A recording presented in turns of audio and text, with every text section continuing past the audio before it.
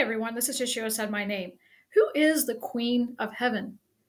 And where did this start actually within the Catholic Church, calling Mary the Queen of Heaven? We have to go all the way back to uh, the ancient uh, pagan religions to find the answer for this. Actually, Tammuz and Ashtoreth and Astarte uh, the mother and child uh, that's depicted in pagan cultures all has to do with this. And I'm going to give you a link to a, an article that I'm reading here that will describe more of this phenomena to you and exactly what it means according to the Catholic religion. Uh, who is the Queen of Heaven? Now, Mary is called the Queen of Heaven, although when Jesus walked the earth, he never called his mother the Queen of anything. As a matter of fact, when Mary was approached by the angel to tell her that she was to conceive by the power of the Holy Spirit, the Messiah, she said, My soul rejoices in God, my Savior. And in order to need a Savior, you need to know that you're a sinner, correct? Never did Mary claim to be a queen. Never did Jesus or the Father or the Holy Spirit appoint Mary to be a queen. She is Blessed among women, yes, because she carried the Messiah. I will not deny that. But Mary was never here in this world to be prayed to, to be an intercessor for us, to be venerated and worshiped, or to be called the Queen of Heaven. And again, I've gone over numerous times in this channel how the Vatican, according to Revelation 17 and 18, and even the book of Daniel, prophesied that it would one day include pagan traditions and pagan religions, but then be wrapped in a cloak of Christianity. Satan appears as an angel of light, and so do his messengers of right, uh, so do his messengers appear as messengers of righteousness. So the answer to this is the phrase the Queen of Heaven appears in the Bible both times in the book of Jeremiah. So in the uh, book of Jeremiah, God speaks to the Israelites and says, You're baking cakes to the Queen of Heaven, and this has provoked me to wrath. So the very fact that the Israelites, according to the prophet Jeremiah, uh, when he was spoken to by the Holy Spirit of God, provoked God to wrath by baking these cakes to a supposed queen of heaven, and many referred to her as Ashtoreth uh, or as Astarte. Um, Astarte was pretty big with the uh, ancient Egyptians. So the phrase Queen of Heaven appears in the Bible twice in the book of Jeremiah. The first incident is in connection with things like the Israelites, it said, and what they were doing to provoke the Lord to anger. Entire families were literally involved, it says. The children would collect wood, and men used it to build altars to worship false gods. The women were engaged in kneading dough and baking cakes for the Queen of Heaven, and you can find this in Jeremiah chapter 7, verse 18. This title referred to Ishtar, an Assyrian Babylonian goddess. Now, this Ishtar uh, is, uh, you know, comes from Babylon. And in Revelation 17 and 18, it states clearly that modern day Vatican City State is Mystery Babylon.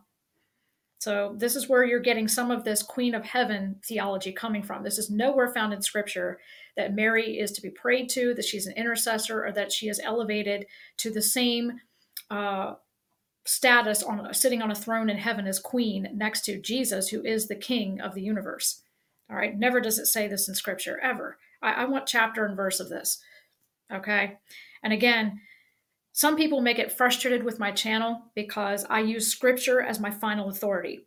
I don't go on opinion and I don't go on what a pastor says from a pulpit or a book or a movie or anybody else for that matter. If it's not in the Word of God and you can't prove it or substantiate it by scripture, then I don't like, even like to entertain such a thing. So my final authority is the scriptures. And if you can find chapter and verse for me, please, where it says Mary is the queen of heaven, that she is to be prayed to and venerated, that she is a co mediatrix with Christ, who is our only mediator, I need to see this. All right, so the Babylonian goddess was called Ashtoreth um, and some Astarte by others groups. She was thought to be the wife of the false god Baal, also known as Moloch. Now, of course, the, the god Moloch is also venerated and worshipped in the Bohemian Grove. And if you're not, not familiar with Bohemian Grove, a lot of government officials gather together there each year behind secret closed parameters and do a mock sacrifice to this god Moloch. That's another video for another time. The motivation of women to worship Ashtoreth stemmed from her reputation as a fertility goddess. And as the bearing of children was greatly desired among women, that era worship this queen of heaven was rampant among pagan civilizations.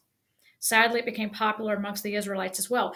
That's why you see in ancient pagan Babylonian religions this image or idols, graven images of a woman holding a child in her lap. And to this day, what you see uh, in Catholic churches and in the Vatican all over the world is that same graven stone image of a woman holding a child in her lap. And the Bible in Revelation 17 calls modern day Vatican City Mystery Babylon. It incorporates these Babylonian practices into something, into its own theologies, and calls itself Christian Christianity. It's not. Uh, the second reference to the Queen of Heaven you can find if you turn to Jeremiah chapter 40, um, 44, starting in verse 17, and go to verse 25, where Jeremiah is giving the people the word of the Lord, which God has spoken to him. And he reminds the people of their disobedience of idolatry in sacrificing to uh, this Babylonian goddess, who they call the, the Queen of Heaven. Now, when you go to um, a Catholic Mass and you see people lighting a candle at the feet of the Virgin and her holding the child, this is worship. People in uh, pagan times, back in even Babylon and even other pagan religions, would light candles at the feet of their god or their graven image that they worshiped. So not only is the image of the mother and child uh, a graven image of idolatry showing this Astarte or Ashtoreth holding the child, but it's uh, Nimrod. It's also uh, modern day showing this. And when you light a candle at the base of her feet, it is no different than the pagans and what they did thousands of years ago, lighting candles at the feet of their so-called gods slash graven images. There is no queen of heaven, the article goes on to say. There has never been a queen of heaven. There is most certainly a king of heaven, the Lord Jesus Christ, and he alone rules heaven and earth. Jesus said before he left this world, All power is given to me in heaven and on earth. And he is the King of kings and the Lord of lords. For Mary to claim the title of a queen, or anyone to give her that title, is saying that she is on par in authority and power along with the King of heaven, who is the King of kings and Lord of lords, the Lord Jesus Christ. This is not scriptural. This is nowhere found in scripture. He alone rules, rules heaven and earth. He does not share his rule or throne with any authority. As a matter of fact, God even says in the scriptures, I will sh- share my glory with no one else. I will share my glory with no one else. He alone is King of Kings. He never appointed a queen to sit with him, especially not his mother. That is nowhere found in Scripture. As a matter of fact, the closest thing we can come to this is uh, is when Jesus comes back for his bride, the church, and it says his the wife of the lamb will rule and reign with Christ on the earth. Now, even then, it's not calling us a queen. It's saying that we're the bride of Christ, that we're the wife of the lamb, and he is blessing us with being able to judge the world and judge angels. He is blessing us with the age to come to rule and reign with him. Um, down at the bottom here of this article, it says here, furthermore, Jesus himself issued a mild rebuke to a woman who cried out to him, Blessed is the mother who gave birth to you and nursed you. Luke 11 27. So she was trying to put attention onto Jesus' mother. Replying to her, Jesus said, Blessed rather are those who hear the word of God and obey it. Put your focus on me, Jesus is saying, not on my mother. And later on, he went on to say, Who are my mother and brothers? He could cert Jesus could have answered and said, Yes, Hail Mary, Queen of Heaven, hail my mother. Everybody pray to her and look to her for your intercession and for blessings and your protectress and your co-mediatrix. He never said that. And neither did any of the other scriptures. So I'll put the link to this article down below. It has a lot of other scriptures for you, for those of you who may be interested in researching these things.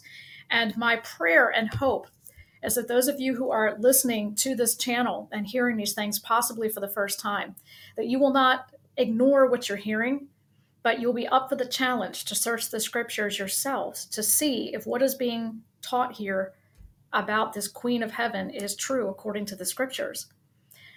When Paul visited Berea, he spoke to the Bereans, and the Bereans didn't just take Paul at his word. They looked in the scriptures to see if what Paul was saying was true, and in the scriptures themselves. They didn't just take what he was saying.